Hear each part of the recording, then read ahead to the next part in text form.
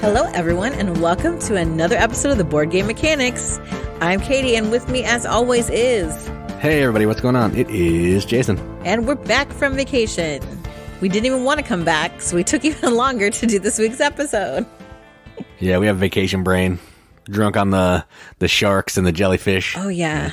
I mean, yeah, we were at the beach. It was gorgeous. Weather was gorgeous. I got stung by a jellyfish. Um, that was not fun. I got pooped on by a seagull. Also not fun. We saw a shark. Cool, but also kind of scary. And we saw a bunch of dolphins and birds. Like, it was just a nice, relaxing vacation with our kids. A long, long drive um, from us to the south, but it was good. It was really good. But we're glad to be back as always. And now in Ohio, it is sweater weather. It is fall, and it's my favorite season. Yeah, I do like it, except I have a couple concerts that are outside, so that could be a little chilly. But I would prefer the chilly over sweating. Oh, 100%. 100%. I love fall. Fall in Ohio is so great. Um, the cool temperatures and like it's just perfect to snuggle under a blanket with a book and the windows open and a hot cup of tea. Or I like my cider cold. I will die on that hill. People that like their cider all warmed up and crap, I can't stand that. I can't. I don't like chai either. Ugh, no, I don't do those flavors. I just don't like. My friend is like, you don't like warm spices like cinnamon or nutmeg or clove. No, I don't. Which is weird because I love fall and those all things are fall. Can't do it. Just eating regular. I, I love the warm. I love the warm spices, but I don't want my apple cider warm either. I like it cold. Yeah, cold cider. I just want a cold apple with maybe some caramel dip. That's where it's at.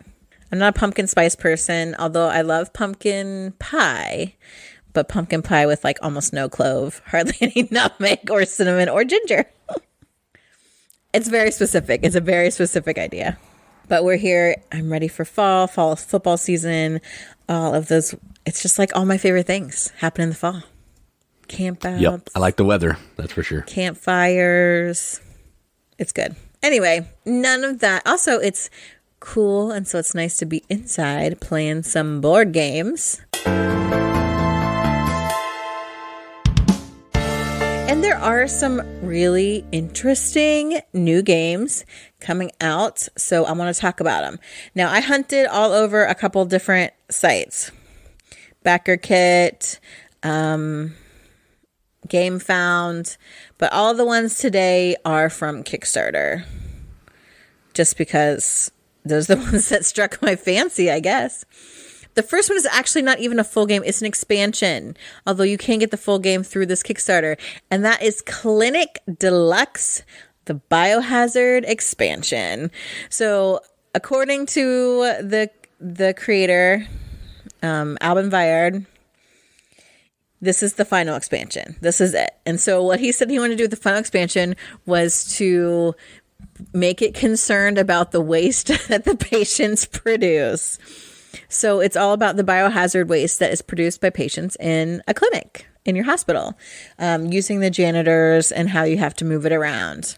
There really aren't a ton of explanation of the rules. I saw a picture of the rules and I tried to zoom in on it and I couldn't read it but there's clinic is a really good game. Like the idea of running a hospital and moving patients around is awesome. What i don't understand about clinic is i think there are how many expansions? Too many is the answer. there there are a lot a lot of extensions I call it. So the first extension ha- includes like janitors and then um like there's the base game, the extension, then there's five extensions. There's a COVID 19 one, there's a campaign, and then now we have the biohazard. Um, just Clinic, the base game, is so beefy. I don't even know what you'd do with the extensions. I think my mind would explode, let alone playing with all of them. I think the campaign will be really cool to kind of like evolve um, the clinic that you're you're working with, but whew, there's a ton. There's just so much stuff in the base game.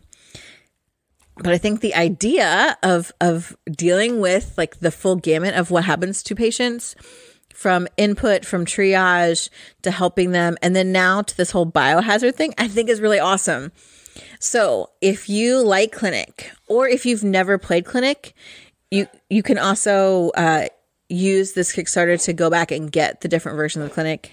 Um, so, if you like Clinic or if you've never played it before, you can also go through this Kickstarter and get the base game um, and all the billions of extensions. Also, um, another one of Alban's games, Small City, you can get through this too.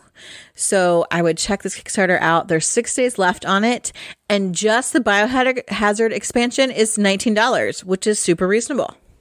Yeah, the price point's good, but then again, if you've bought Clinic, the other 47 expansions, you're looking at like, I don't know, $600, $700 invested in this game. Yeah. The all level, all in level is 259 euros, which That's for that's for everything? I think so.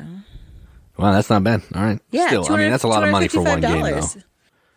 For everything. And I I mean, we played it just the base game. We have one extension and I don't even know if I'd ever even need to play that because the base game is super crunchy. There's so much going on. I mean, I guess if you play this game once a week, maybe you'll like all the stuff, but I, I don't understand it. That's a lot. Well, it could be. I mean, I guess if you are in the healthcare field, some of the ex, the expansions um, pull on certain things in the field that you're like, oh, I'm really interested in, you know, in the ER or in, you know, maybe the janitorial staff or whatever. So certain expansions might speak to you, and maybe you would play with those. But just the base game is a ton, and I really enjoy it. I would play it again, but I think there's so much going on with what's there, I can't even imagine adding, adding all those extensions. So, same. Definitely something to look at. Another game that we already kind of have a background with, but this is actually a separate standalone game, and that is called Sagrada Artisans. So, this is a really interesting kind of take on Sagrada. So you've still got the stained glass windows and the dice. However, this is kind of a roll and write version plus a legacy version which is really interesting. So there's like you are um like a each person is like a competing stained glass maker family. You know how that works, the whole stained glass mafia situation. Um, so your family is going to construct these cathedral windows over this campaign. Um, and the game does change in this legacy version, which I think is really interesting. So it has a roll and write feel where you're going to roll these dice, and that's going to allow you to actually color in parts of the window that you're working on for that particular game. There's also like paths that you can use where you're like maybe gaining wisdom or gaining skills, um, tools of the trade. Those all are kind of developing as you play. You can customize dice um, with numbers and colors to kind of strengthen your family's particular design. Um, you're constructing this cathedral, and as you construct the cathedral through like in-game choices, you're like getting new powers unlocked. Your tool tool cards will evolve as you play game play the different games. So how the tools are used and what they do changes over time, which I think is really interesting. So they're become more valuable, but they're also more fragile, which I think is a cool thematic piece. So there's a lot of kind of different stuff going on here. Another really interesting thing I think that's happening with this game is they have mentioned that um, they know that, you know, visible accessibility is a problem. So with this game, they've actually added textures for the different colors. So if you're colorblind, some of our dear friends are, there's going to be there's textures that accompany each color that can help you identify them separately which I think is awesome. And it's about freaking time that they did that. Like, I think it's a great idea. Um, there's a ton of stuff that you can get through this Kickstarter. This gorgeous dice tower. Um, there's a campaign reset kit. There's a, a window pattern booster pack. So you can do even more window patterns um, with the game, even after you've played through the legacy. There's a coloring contest. I mean, they're really doing some different stuff here that I think is really cool. Um, and you're you're pulling like a game with you get your story deck. Everybody gets a new window. You're rolling your dice and putting them on the cathedral board. Then you're using those dice out there to color in um, different spaces that, as you draft them to like meet your objectives for your window, much like regular Sagrada, and then you're gaining these tools and abilities that carry forward the more as you play the different games through the campaign. It's ten windows that you're doing um, throughout the game, and then there's the whole uh, booster pack as well that's actually included with the basic Kickstarter, so you can play windows separately from the campaign. So if you like Sagrada, if you like coloring, if you like puzzly things, if you f- wanted to play Sagrada but are colorblind, now is your chance. Check it out. There's six days left on this Kickstarter, and um, Sagrada Artisans is $75 for the basic pledge. Yeah, it sounds cool. I just, when I think of a game that needs a legacy version, I don't think of Sagrada, but apparently somebody thought of it and thought we needed it. So, yeah, I would play it. I, probably wouldn't buy it, but I would play it. Yeah, at first I thought, oh, a legacy version of Sagrada, like how'd you do that? But I think the way they've done it thematically is actually really interesting. How like tools increase because your experience increase, so they're more powerful, but they also are more fragile, so you can't use them as much. Like I think those ideas and concepts are really interesting. Um, so it looks it it's more than what I thought it would be actually. Yeah, that's cool. Okay, so the next game is brand new and yet feels not brand new. Um, so the next game is called the Fox Exper- Experiment. This is um, being produced by Pandasaurus, who I adore, and it is designed by Elizabeth Hargreaves. Hargraves, Hargreaves. Hargrave, I think. Hargrave. She's not from the Umbrella Academy. I know. So that's why I get confused. I get confused if it's, if it's un, uh, Umbrella Academy or like I get I want to make her name like Vanessa Redgrave, so I make it Hargrave. I don't know. I, all these things going through my head when I say her name. But she did Wingspan, which I enjoy. But this game is about foxes. Imagine that. It's called the Fox Experiment. In a lot of ways, it reminds me of um crap, I forgot the name of the game. Uh nope, nope. Mm, Geno? No. The one with the pea plants. Yeah, genotype. Genotype. Okay, I was like on genome, I was on genetics, I was on Gregor Mendel. I tried to name this game everything. It is very much like genotype, I think. But instead of creating pea plants like Gregor Mendel did initially, you are working with foxes and you're actually breeding them to pass on certain traits. So you like select some fox parents that have traits you want to pass on. There's some almost roll and write stuff because you're rolling these trait dice and seeing what you get, um, and uh, marking on these cards what traits come up, and to make new fox pups. And then the pups that you create, like they're trying to match up in some studies that you're choosing to complete, and uh, then those pups then go and can become future parents that you could possibly use um, to make new ones. The probably best thing about this game is the fox meeples that come with the basic basic retail version. There are 40 wooden fox meeples. They're cool. There are um, 80 like unique dice, well, 16 per type. There's wooden player markers with these really cool gears. I love good bits. Y'all know that. Um, I, I always think that these genetic games are interesting. I don't think it's anything super new. Um, but it's got the dry erase markers. You're working on the study cards. You're marking the pup cards. It has a solo version as well. Um, I, I think the, those present interesting puzzles. I have problem with foxes because I'm an avid reader of like Lewis and um, Redwall, and often that the foxes and and I live in a farming community, so foxes can be bad guys. when I know that they're not like all around, like I just have a negative concept of foxes, which is stupid. I get it, but I don't think it'll diminish this game. And it does look pretty good. I again, I really like genotype. I like trying to solve that puzzle of getting traits and what gets passed on and and doing that. And so this looks like a fun little game. So the Fox experiment, there's seven days left on the Kickstarter, and the retail pledge, which also comes with the adorable Fox meeples, is $55. I mean, I like Wingspan. That's all I've ever played. I like foxes. I like genotype. So could be cool. Yeah, sounds good. The last one I have to talk about is like a departure.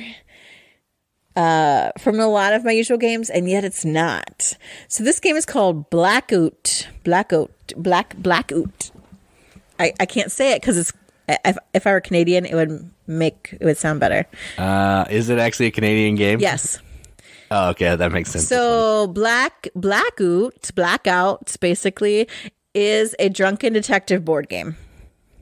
And normally I'm not advocating for drunkenness in any form, but this game touts itself as Sherlock Holmes consulting detective meets the hangover. And I I can't I can't walk away from that.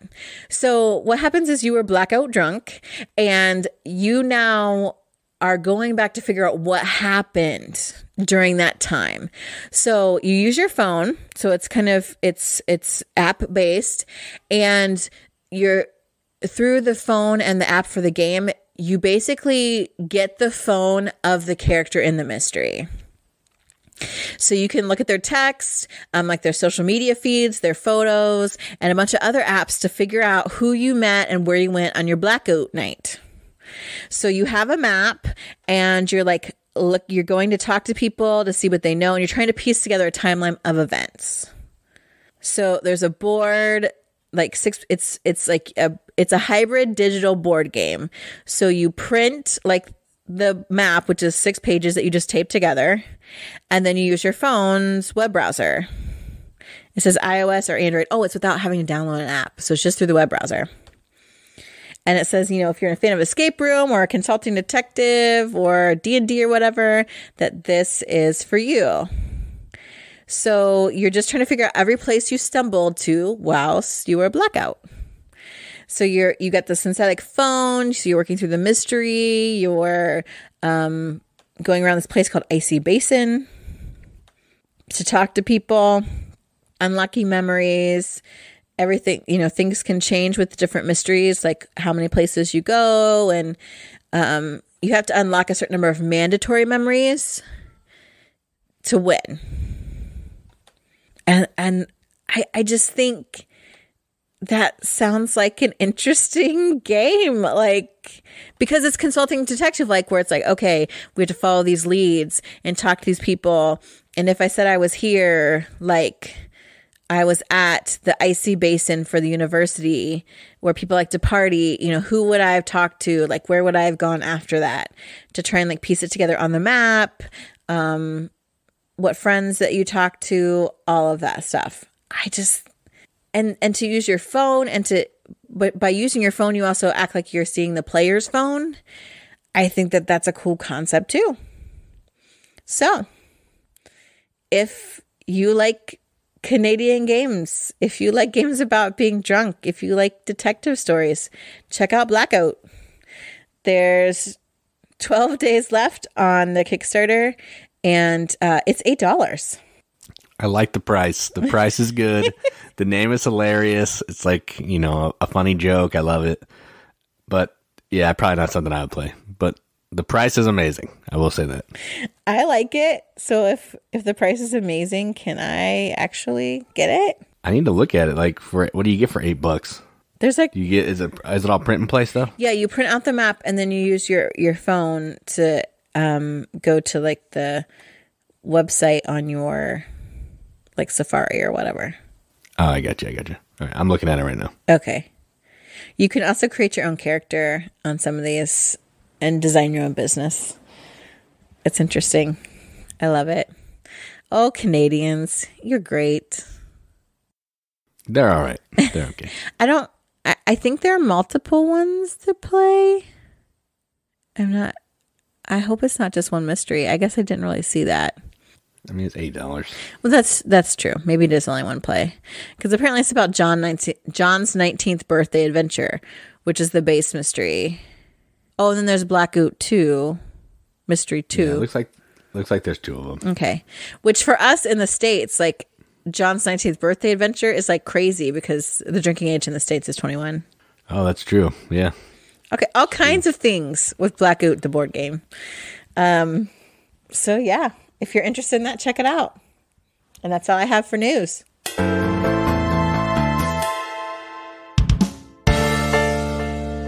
All right, so let's talk about a couple games that we played. We were on vacation, so we didn't get a lot of gaming done, but we did manage to play one that's been sitting on the shelf for, I don't know, years, probably. And It was- it's a beast. Yeah, it was deep on the shelf of shame. Yeah, deep on the shelf. It's uh, hard to learn, hard to understand, hard to play. Um, just yeah, just big, and it's called Feudum. So we did manage to play a game of Feudum, uh, and we played it. You have to give a brief overview of the game. Okay, so a brief overview. Let's try. So in Feudum, what you're trying to do is you are trying to game to control these six different guilds. That's the gist of the game.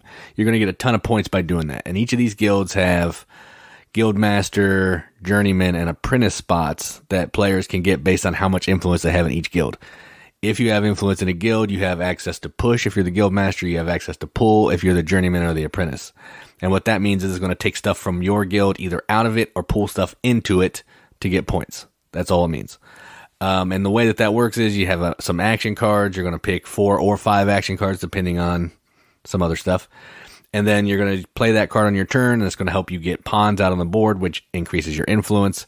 You're going to move around the board, setting up, um, like ruling different um, cities, farms, outposts, turning them into feudums. If you turn stuff into feudums, then you have to fight other people because the king expects you to be a good vassal for him and fight. Um, there's monsters that can come out on the board. There's different shipping routes that you can take. Tons of movement. Um, there's money that we didn't really use a ton. Influence tokens, which are really hard to come by, which you get from one of the guilds.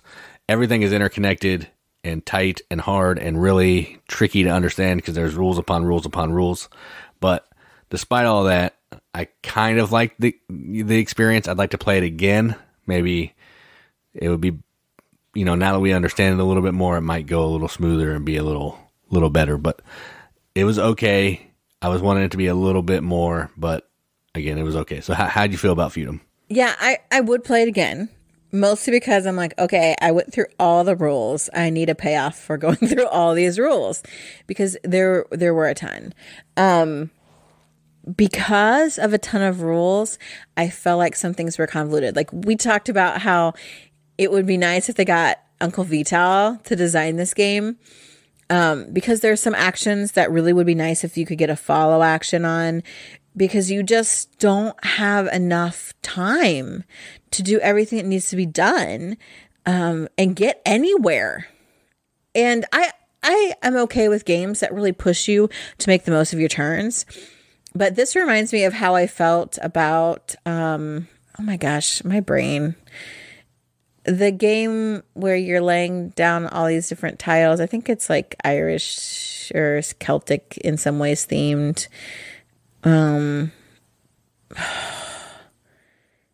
Yeah, I don't know. You don't know what I'm talking we have about? this game. I don't know. Actually, I don't. I thought we brought Chris's copy, where it seems like you're never going to cover up a whole island or anything. It's like exercise in futility. I yeah, I have no Yes, idea. you you know. We just oh. Anyway, it feels like this other game where you're supposed to cover up all the spaces on like these different. oh, oh! Oh. You're talking about um, Feast for Odin. yes, yes, feast for yes, Odin. yes. Okay, so Nordic, it wasn't at all. Yeah, I was like, it's it's not Celtic. couldn't- That's what I was like trying to think. I got it confused. I mixed it together in my head with the the a different monk and beer one that's also heaven and ale, which is also feels Oh, yeah. feels very hard, but not in the same way. Um, so it reminds me of Feast for Odin, and it's like there's no possible you're supposed to do this. Like the game kind of tells you you're supposed to do this, but you're never going to do it. And like the game's called Feudum, so it feels like you should make Feudums. But actually, I made only one Feudum, and it seemed like the worst decision I ever made in the game because it puts all these other like responsibilities on there, and I don't. I actually felt like I could have made more points if I didn't. Um, because I I had one seal and I could have used it differently, and I would have gotten I think a lot more points that way. Because I lost points for my Feudum because I didn't fight anybody.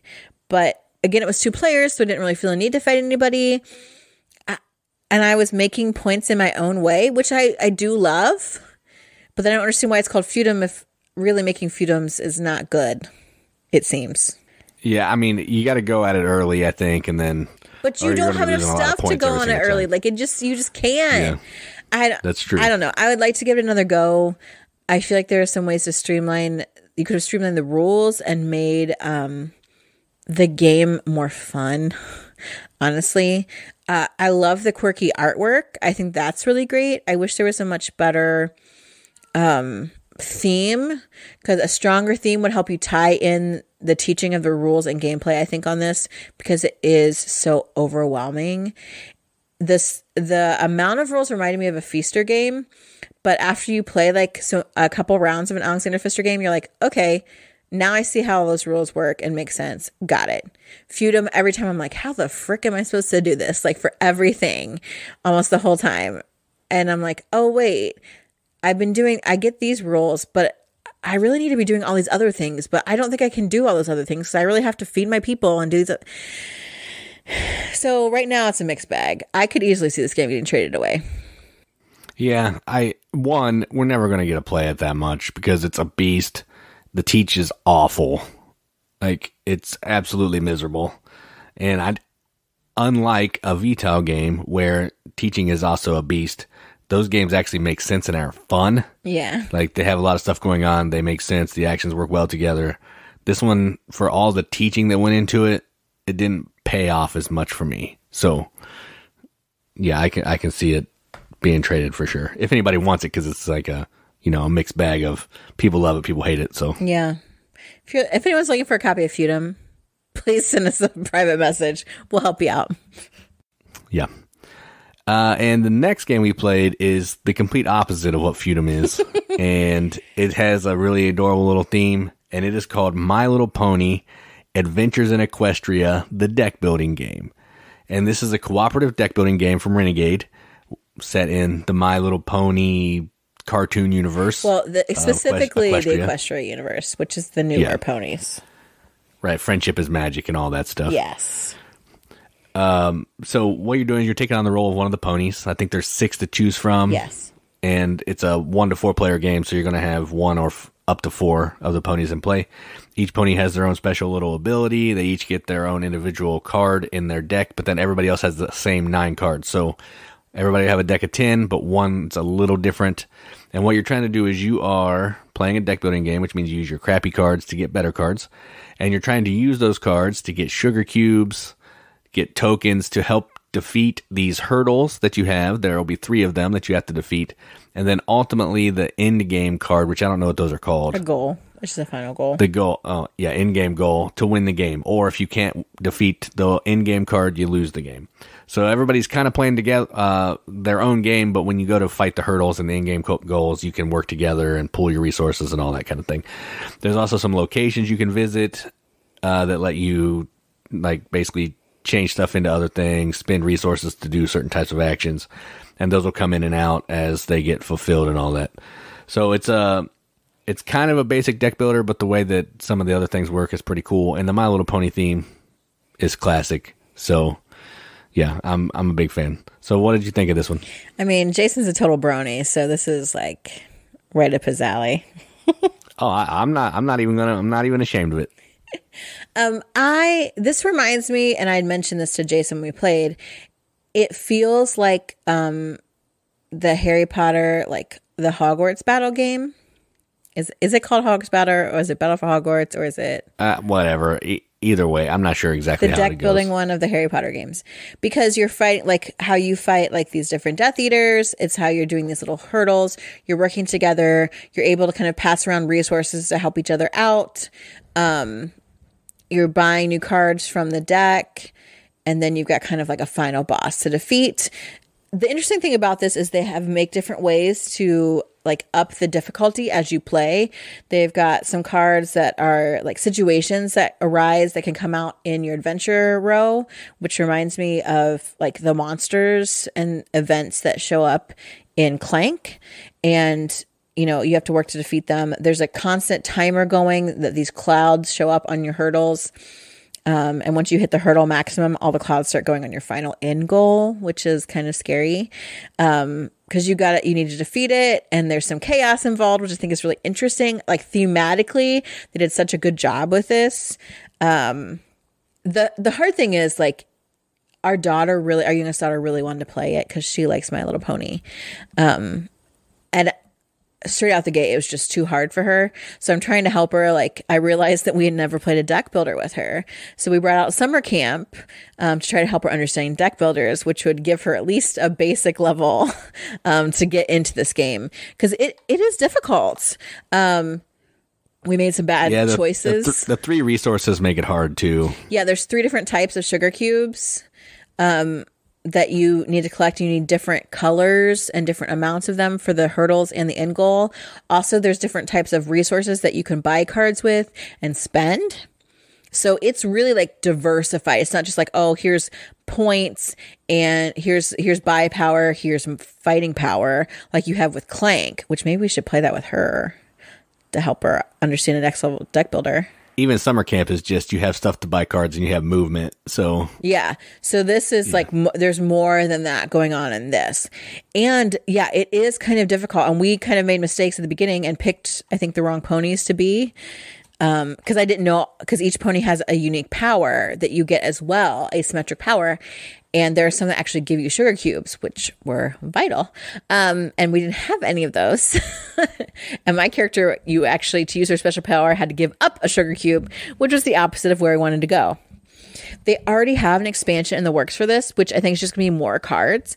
And the cards are really interesting because there are some that work, like they have texts that work for particular pony characters, which is cool. And then they also, but they also have those different types of currency that you can use in different ways during the game. So there's just a lot of stuff going on in this game and uh, I enjoyed it. Is it is it overtaking some of my favorite deck builders? Probably not, but I think it is fun, and I think it's worth keeping and even getting expansions for. And eventually, yes, it'll be something our our girls will like to play, um, or anyone that likes my MLP. Like this is a decent game to like bring out if you like deck building. So um, yeah, it was pretty good. I liked it. yeah, I definitely want to get that expansion. Just having more cards would be cool. Maybe some different ponies and all that kind of thing. Um, yeah, I like it. It's fun, and you can play it solo too, which is pretty interesting. Hmm. I'm assuming I don't know how that works. I didn't look at it, but it seems like it would be just like the regular game, just less ponies. Yeah, you're doing some different stuff with it. There's a and it's it's not a ton different. So it's just a really small section the ru- in the rules at the back that tells you how to play solo. So yeah. All right, so those are the games we played. Let's go to the feature.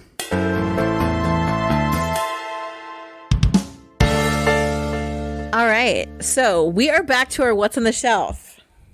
We have started a new shelf, and this is kind of a funny shape shelf because we have um like smaller little like cube shelves that we stacked on top of regular shelves. Our game room is like a Tetrisy jumbly kind of puzzle because we're just trying to keep all the games we can in a decent order. So this shelf happens to be a completely Japanese themed shelf. And so I really, really love it. Some of my favorite games, some of my Japan anime games are on here. But the first one on the shelf is personal favorite of mine. Um that is Japanese themed and it's not from Japan anime. Right? This is from um Emperor S9, isn't it? Uh, no, Studio H. Um, so this is from Studio H and it's called Hagakure. And I believe I have talked about it at least once before, if not more times, because Hagakure is a trick taking game. And I really love trick taking games because I'm from the Midwest.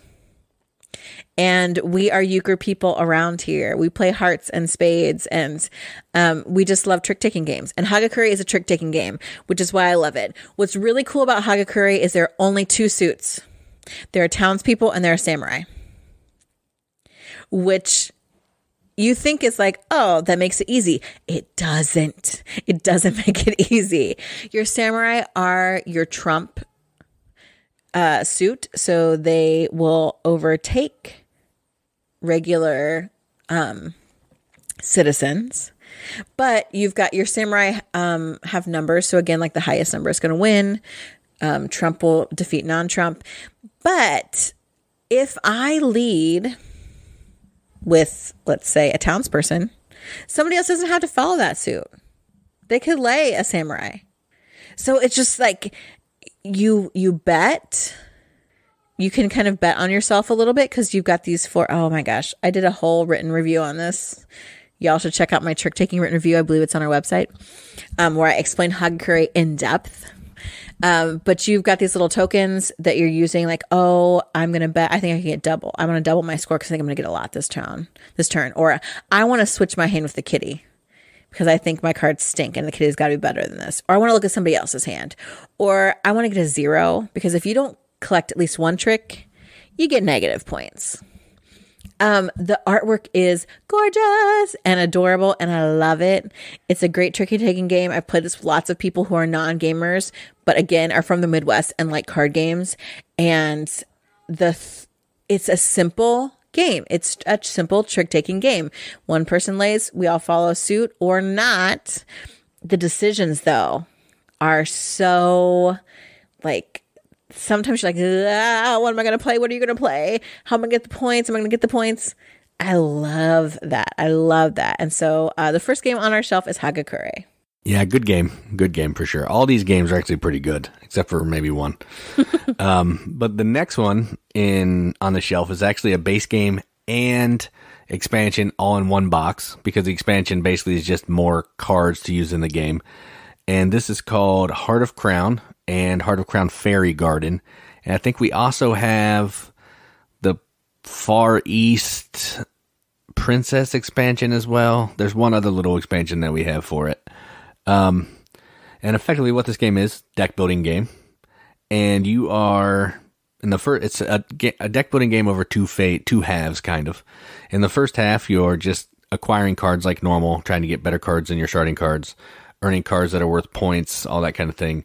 And then in the second half, you're going to be backing one of the princesses to help them become the new like leader, Ruler, queen, rule queen. Yes, and uh, you, then you're going to be putting you, playing your princess down with a certain number of land cards, and you're trying to be the first player to get a certain number of points from the card you bought earlier tied to that princess to score the to to win the game. So the first is building up. The second is a race to get those cards actually played to the princess to win the game. It's a, a pretty cool game. It has really nice art. None of the like risque stuff that we're going to talk about later. It has good, um, just cute art. Um, it has a cool arrow system when you play a card. If it has an arrow either to the side or to the bottom, that's how you know you can play another card after it. So it gives you like a, a link. If there's no arrows, then you know you can't play any more action cards, which is pretty cool. Um, it doesn't really do a ton of different stuff uh, along the deck building lines, except for that second half where you're trying to race to back the princess. So it's cool. I like it a lot. We don't play it as much, but I do enjoy it, and that is Heart of Crown and Heart of Crown Fairy Garden. Yeah, the artwork is really cool on this one, and the arrows like make it so you don't have to remember action points. Um, right. Which I think is helpful. Like you might have to do later. Yes. Like in a different game that's underneath this one on the shelf. and you know, I have been a heavy proponent of this game, and that's Tanto Cuore. Tanto Cuore is also a deck building game. Um, in this game, however, instead of, you know, backing a princess and doing things like that, you are actually running a household, a household, and you're using different maids to accomplish some work. And really, what you're going to do is you want to eventually chamber those maids. They will go to the private quarters because they're going to gather points for you. It's a basic race for points. The thing that I really love about Tanto is the cards work together so well. So for me, that's one of the kind of flaws of Heart of Crown. I love the idea. I love that whole gathering really good cards and then backing a princess kind of thing, and then it, how it changes the game to a second phase. But for me, sometimes if you don't have the right layout of cards in the market, they don't fire off quite well and you've got cards you can't really do anything with. I don't find that in Tanto Cuore. Um, I think the cards really work together well. You're trying to get, there are some maids that actually are negative points unless they are chambered. So you're kind of working to get those out somehow. You do have to remember action points because you need, uh, they're called service. Um, you need so much service in order to play maids as well as chambermaids. Um, and so maids can allow you, can give you points of service. They can give you a love for which to acquire new maids, um, or they can let you draw cards. So lots of different things happening. And the other interesting thing about Tanto Cuore is the base game is fun. Um, some of the artwork can be questionable. I'll just lay that out right now. Um, Yeah, can be. some of them aren't questionable. That's true. There are some of them that are just regular maids, but some of them are a little risky. Yes. Like when she's hanging out on the pillows and all that yes. So this is anime themed, very much has that kind of um some boobalicious maids, some awkward positioning.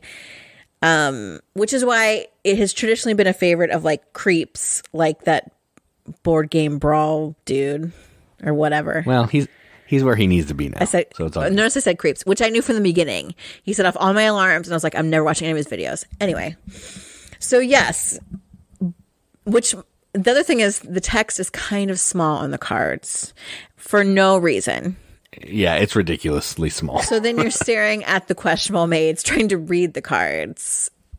But once you play it enough, then you kind of know, okay, this maid is two service. Okay, so I need to buy this one or whatever. It it, it is better, but that is definitely one of the flaws of Tanto. But it is a really good deck builder, I think.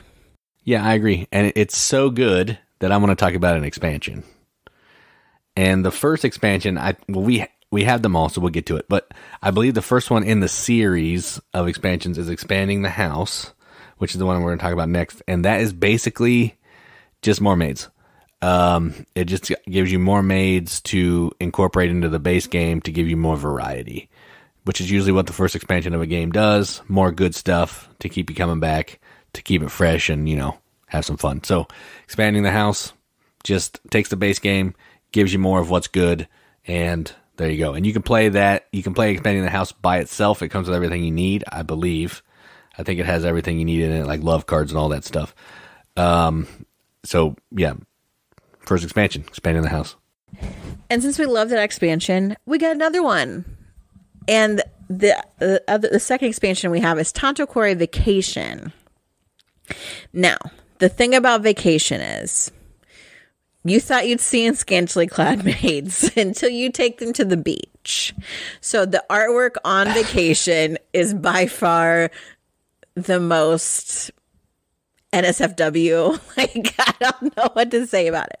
Yeah, I would agree with that. Um, but vacation kind of allows you to do different things. Um, you've got different types of maids that have different actions. Um, but in vacation, you can actually have like trips, or I don't know if they call them events, uh, yeah, I'm not sure. where you can Encounters, maybe. Yeah, encounters, encounters. So you can go scuba diving or um, go rafting or whatever. And so you're instead of using your maid cards in the traditional way to keep points or to use the love to spend on more maids or to chamber, you can actually um, go on an encounter. And that gives you uh, different points as well. So it's it's just kind of taking the regular tanto and adding this extra like excursion piece to it. I think that's right. Yeah, yeah. It just adds that one little new twist. It might add some. Um, Romantic vacation, Am I- really, it's called. yeah, it might give you um, some events too. Some of those purple cards. I think they show up in this one for the they first time. Yeah, I don't know. We don't play with those, but they show up in one of these sets. Well, we don't we not don't really play with vacation very often. Oh, they're We'll- they're reminisce cards. So Oh, it's like yeah, you go on a romantic vacation and you do these different excursions, and then um, you reminisce about it. Like you have a campfire, or you watch the stars, or you have a picnic. So they give you like substantial victory points, but it's not like you can't buy them with love. You actually have to discard particular types of mate cards from your hand. Um, so then you're kind of saying, okay, am I going to get victory points through these reminiscences or am I going to get victory points through like my maid cards? Um, because the reminiscences don't go actually into your deck. They go almost into like your chamber type thing. So romantic vacation just kind of adds a different way to get points that you didn't have before then. Yeah, and probably my favorite expansion, I, I don't know. Either first or second is the next one I'm talking about, and it is Oktoberfest. And the reason I love this, one reason alone, there's a deck of cards that's face down, and as some an action, you can go drink some beer, and you're to flip some cards, flip a card from this deck, and it's to have some kind of alcohol content on it, and you're uh, it's done for a couple reasons. One, you could pass out if you get too much alcohol, and two, you're trying to get certain kinds of beers to go with some of the other cards because you're doing like a set collection type thing. Like I may need to have a certain type of this ale or whatever. If I can get that, they're going to be with extra points at the end. And I, I love that this face down, all that stuff is random. So automatically draws me in. But I just think it's funny that they've gone from the house to the beach. Now they're at Oktoberfest and they're serving be- beer as beer wenches now. I don't know if that's the appropriate term, but that's what I'm going to call them. Um, and yeah, I, I, like this expansion a lot. It's one that I, if I was going to pick one off the shelf, I'd probably grab that one just for that deck alone. And again, you can mix all this stuff together, so you could put the Oktoberfest with the romantic vacation. It doesn't matter, but yeah, I like that. So Tanto Cuore Oktoberfest. Yeah, this one also has like the disasters. So this is what you don't like. You like that you can actually have this push your luck with these cards that come up out of the Oktoberfest deck. But um then I could also like make your like beer tent collapse. Yeah, I hate that. Through, I hate in that. a storm. So Jason doesn't like them those mean cards. Uh, I just it's not necessary. Just buy your cards and do better than me. You don't need to like mess with me. Well, doing better than me is the fact that I'm going to make your beer tent crash because you're getting too much beer. That could be good. I'm just saying. Yeah, that's I'm true. That's true. I mean, it, thematically, it makes sense. That doesn't mean I have to like it. No, and I know you don't. um, and then the last expansion that we have, and I just noticed there was like another one, like Tokidoki Volleyball or something. That I don't think that's necessarily. That's a different game. Is it? It's called Tanto yes, Cuore Tokidoki Volleyball. Yeah, it has nothing to do with this game though. Doki Doki Beach Volleyball. Excuse me. Thank goodness. We don't have that one. But we do have Tanto Cuore Winter Romance, which is the one I was most excited about. I believe we've talked about it on the show because it's the last one that came out. And I was super excited because it includes dudes. That's right. We're about equality here. So, no, we, we don't just have maids, we now have butlers and they're very like K-pop styled looking. They're like emo looking butlers. They're they cool. are. They're super emo looking butlers um, that are able to give you points, but also you have butlers and maids, so you can send everybody on dates. I mean, butlers can go on dates with butlers and maids and maids, but you can have butlers and maids together. Everyone's going on dates, and dates also give you points as well. So that's like a whole another like way to decide to use your maids and your butlers to go to these like romantic meetup spots, have couples, um, the way the cars interact with each other is really interesting in this one. This is by far my favorite. I think that the mechanisms are the most interesting. Um, the meetup spots give you points. There's just uh, a lot of really good stuff. This has, I think, the most um, non shocking artwork, even the maids as yeah. well. So I like that a lot. And I, well, when you're going on a date, you do that with another player too, right? Yes. So you kind of, yeah, and there's some cool. push your luck to that too which I know you also like a lot. Yeah, yeah, I like that part. Okay, yeah. So when you go on a date in Winter Romance, I'm pretty sure that you like flip over other cards from your hand as part of the date. And there is a little pusher luck element to that. We haven't played it for a while. Yeah, it's been a, while. it's been a little bit. But I would say it's definitely my favorite one. There's also some bad things I think that can happen to you like it's winter, so can't you get like fr- frostbite or something? Yeah, I'm not sure. There are some negative oh, like things a, that can happen. There's a blizzard on, on the date. A blizzard card. Yeah, it it basically works like that card that shuts down beer tents, that kind of thing. That you could similar to yes, yeah. So yeah, Winter Romance definitely my favorite. I like it in part because I feel like the artwork is not quite so saucy and that we have not just maids but butlers as well. And so I'm all about the gender equality. So yeah, Winter Romance definitely my favorite of the Tanto Cuore expansions. All right, so the last game looks like it could be a Tanto Cuore expansion, but it's actually something else. And it's called Starlight Stage. And I haven't played this for a really long time, and I've only played it a couple times. And what you're doing is you're taking on the role of a talent agency, and you're trying to collect talent. So you're trying to get um, actresses, models, and singers, and all that kind of thing. But the way you're doing that is through like the Splendor style set collection. So this person that I want may take like four of the yellow resource. So I need to have four of those yellow cards in my hand to cash those in to be able to recruit this character to come to my my agency to get points. And then once you have them in your agency, then you can level them up. They can go from model to singer to um, actress, I think. Or model actress to singer. That's like the the progression. And you, you can be like a super famous singer depending on how like strong that character was at the beginning.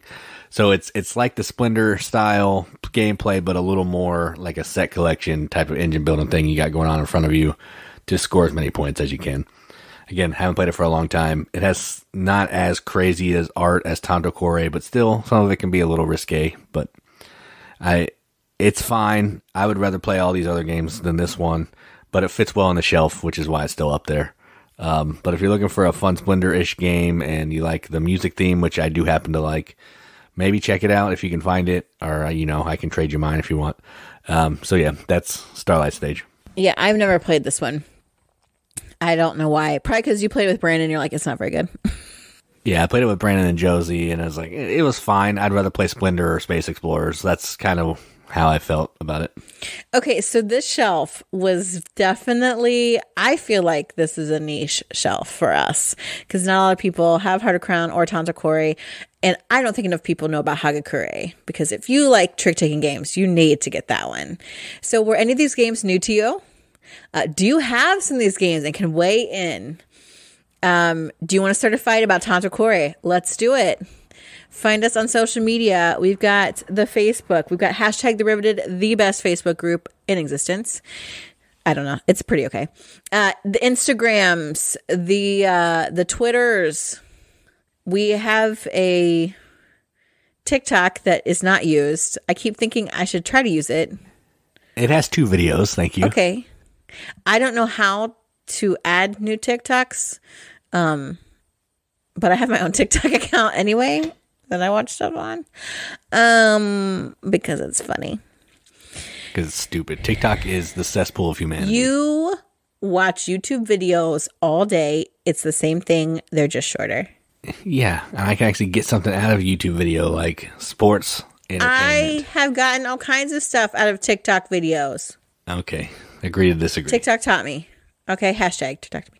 Um, but we are on there. We also have a Discord chat. We haven't been chatting a lot lately. I just always don't know what to say. Like, I don't want to annoy people because I've heard I'm annoying. Um, and also, our YouTube uh, channel has tons of videos. Jason's so good at putting them out. I need to get better at that. It's my constant, it's my tragic flaw.